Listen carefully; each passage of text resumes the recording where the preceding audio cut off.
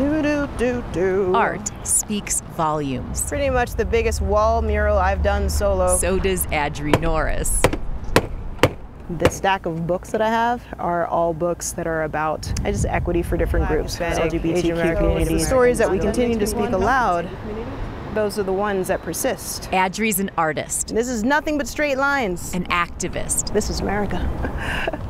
Things can always go sideways. a collector of facts. I have um, a portrait of Ava Hamilton, who is a Native American activist. That palette gets her through the hottest days. That's why I have this ridiculous hat on. Adri never gravitates towards the easy or obvious. For that reason, I paint murals of women. Size doesn't matter.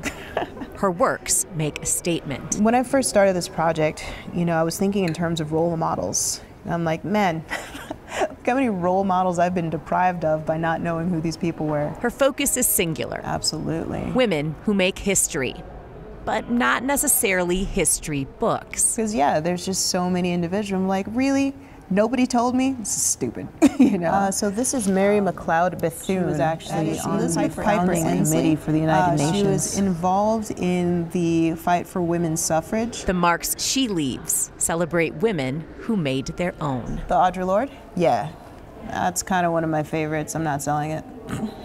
She was a lesbian feminist. I'm a lesbian feminist. Kind of fell into education, and I kind of fell into education as a result of this work that I do. A teacher I love all things nerdy. who's always learning, so she gets their stories right. You know how many books do I have to read? You know, information I have to be just constantly taking in all the time? Adri's path to art is a little jagged. Do you mean how I joined the Marines for some reason? Five years as a military translator That was a weird thing I did. taught her to speak for those who couldn't. I was privy to how Middle Eastern culture actually was, and so I became acutely aware of the strength of propaganda um, in that sense, and how we choose to view people and how we choose to speak about people. I'm not only showing you, hey, here's a picture of this lady that I think is cool. Um, I'm telling you what she did. And so the things that I'm most passionate about actively affect me, which is why I don't paint dudes. Sometimes frustrations fuel her work. This week, they decided to overturn Ro Roe versus Wade. For Adri, it makes each brushstroke more important. You know, I'm wearing Shirley Chisholm on my shirt today. First black woman in Congress. I think she would be sorely disappointed, but whether she'd be surprised or not is up for grabs. Anger is very good at creating action.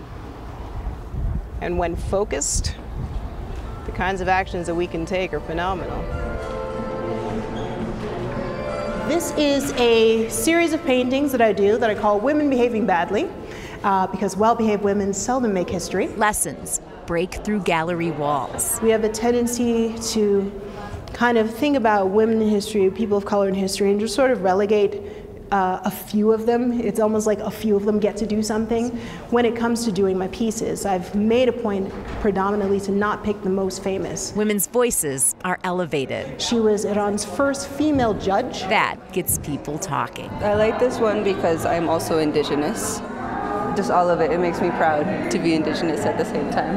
It, it makes me feel more empowered to work harder in w- what I do in our community. So if we don't tell our stories out loud, if we don't tell them to one another continually, then those stories fall by the wayside. Art can be loud. work. She was an incredibly prolific writer. She won the Croix de Guerre, which was the French. And so she became a scientist. She became a doctor. Uh, this is Briana Scurry. Uh, she was super dope. When Adri's brush hits the paper, the wall, the canvas, Pleasure. Thank you for coming. she hopes people listen. So rolling over here, we have Laurie Hernandez. Jemison was the first black woman to go into space. If you're curious to know more, please look it up.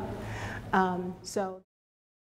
Adri recently moved to New Mexico, where she plans to keep her work's focus on women that she would like us to know more about. Oh, That's a shame. New Mexico, your gain, our loss. Yeah. That work is incredible. Close.